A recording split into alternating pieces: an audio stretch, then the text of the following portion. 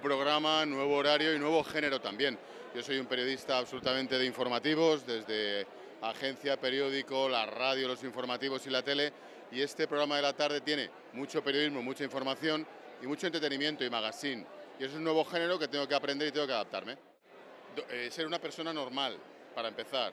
Te puedes acostar, puedes ver a la familia, puedes cenar y puedes hacer una vida normal. Y de verdad que me parece, desde el punto de vista personal, me parece un reto por aprender un nuevo género. Dentro de la radio, la tarde es un programa muy particular, porque mezcla la, información de la que no voy a poder oír en mi vida con el entretenimiento y el magazine.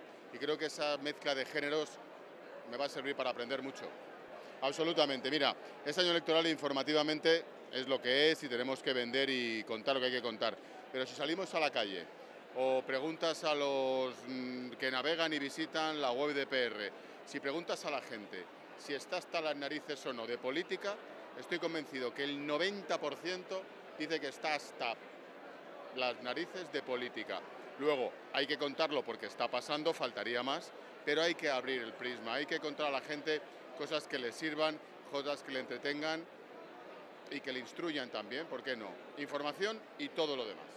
Vamos a ver, yo soy el nuevo porque Carlos Francino lleva ya años, porque el García no lleva tantos, pero también, y porque Julio Otero lleva mogollón de años, por tanto, evidentemente soy el nuevo. Yo puedo aportar mmm, cierta personalidad que a lo mejor no tienen ellos y que tengo yo la mía, como ellos tienen la suya. Yo puedo aportar un tono, a lo mejor, que ellos no tienen y que yo tengo el mío. Yo no me puedo comparar con estos que llevan ya un montón de años y haciéndolo estupendamente bien. ¿Qué puedo aportar? Originalidad, la marca y formar parte, que hay que reconocerlo, en un equipo cual es el de COPE, que en la plantilla en conjunto es mucho mejor que las demás. Lo único que puedo hacer es aprovecharme y tirar de ellos.